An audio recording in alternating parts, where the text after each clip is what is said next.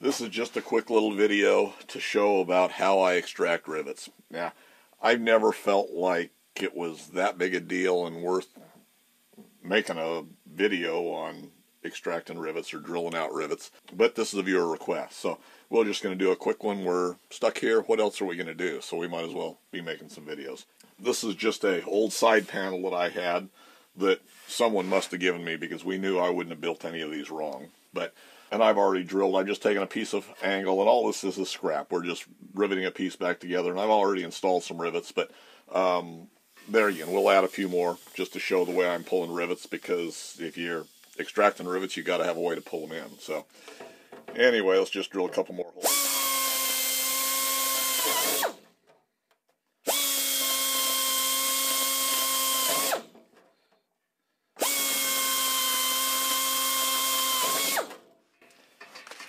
Okay, I'm not going to worry about deburring them or any of that stuff other than just right on the front side here because we're just taking them out for demonstration purposes. But anyway, rivet guns, and we're shooting A4s here. You guys know I like these little Neiko guns. I think very highly of these guns. Uh, you know, I've been through the Harbor Freight crap, and it doesn't matter which model it is. I wouldn't give you a dime for them. These are the same money or less money depending on what you get. You know, these are these guns. Last I looked were I think $49.99, $50 on Amazon. I'll throw a link down there if anybody wants to look at them. But I think these do better than anything else. I've written on mine. I've got two of these, of course. This is my A4 gun. Um, A4s I run at 45 pounds. A5s I run at 60 on the other gun. So, and I just marked on both of them which guns they are and what they are, so I just interchange them. Um, other options, of course, are like the Milwaukee cordless, and I'll add a Milwaukee cordless at some point in time, but I don't think that's the really the best way to go.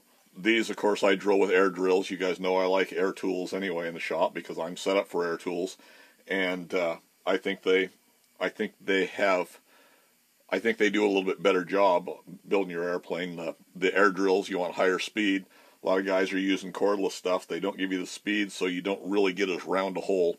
Now, one of the advantages I think of cordless drills in the shop for your airplane is if you are extracting rivets. It's very possible with a cordless, you're going to run in that slower speed, you're going to have quite a bit more control over how you're drilling them out. But I use my standard air drills for all of them. Anyway, this is set at 45 pounds. Actually, we're set about 50 pounds, 48 or 49 pounds. Um, I haven't really used this gun hardly at all for the last year or so, so it's been setting. I added four or five drops of air tool oil to it, uh, just into the air fitting, and uh, that's all it takes. So they pull really nicely at, at 45 and 50 pounds. I noticed when I had it set at 45, we're about 48 pounds there. We're going to back it down to about 47. I noticed at 45 it really wasn't wanting to pull. There's 47, and it's just barely pulling it. So this gun's got enough wear over the last, what, four or five years now that uh, it's running. You know, it's taking a little more air than maybe it used to. Maybe my gauge is off, but anyway, that's a nice slow pull. It's it's very controllable. That's about 48, 49 pounds right there. So anyway, that's what I use for air riveter or for riveters. So that's that. So extracting them, the tools I use are pretty simple.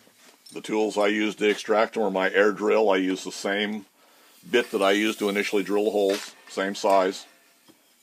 Um, got a little body hammer, which any hammer will work. I like these body hammers. I've used them for years, and they're very controllable for me. I've got a small pointed chisel, or a flat nose chisel that's got a pretty small point on it, and I just very carefully will drill the tops off.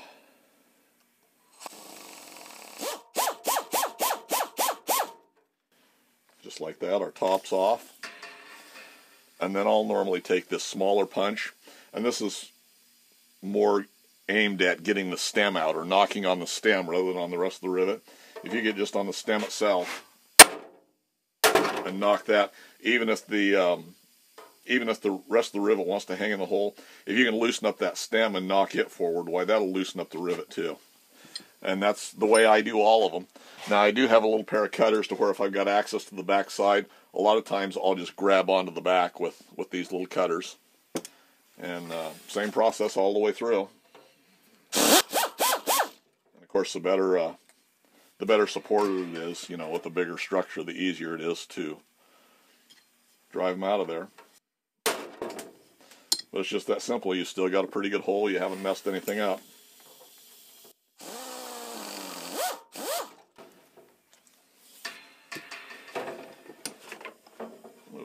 That closer if you've got a bigger structure that you put together. Why it's uh, it's a little bit uh, easier because it's better supported. It's not going to bounce. Now see, we're going to assume that that one didn't come out. If you just reach to the back, if you've got access to the back side, you can just grab a hold of that with those. Give it a twist and it'll come right out. So no damage to the back side. Everything comes out just just fine. We've still got a good hole right on the center. I'm not uh, I'm not concerned that I've oversized that hole or, or bent it out of position or damaged it. Just take your time, drill them out easy, and they'll come out. Doesn't matter if it's an A4 or an A5. They uh, work the same way.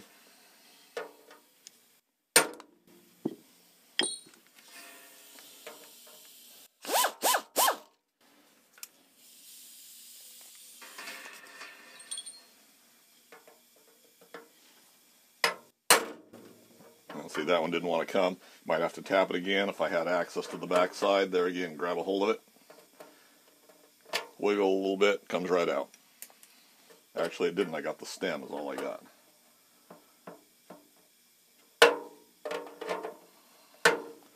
There we go.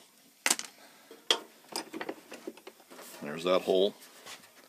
Make sure we've got a view of it here for you. Yep, still no damage to it. Either front or back. So you can just extract them the same way all the way down. Sometimes they're in an awkward position. You have to work out them a little bit more. But they'll all come out of there the same.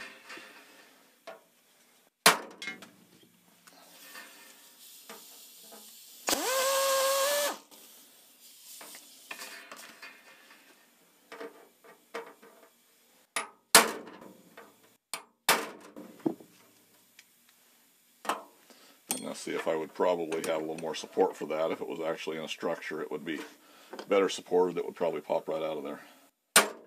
Just like that. Sometimes they're going to bounce on a little bit, and sometimes you will bend that back structure. But if you're taking it apart, you, you can usually go in and, and straighten it up.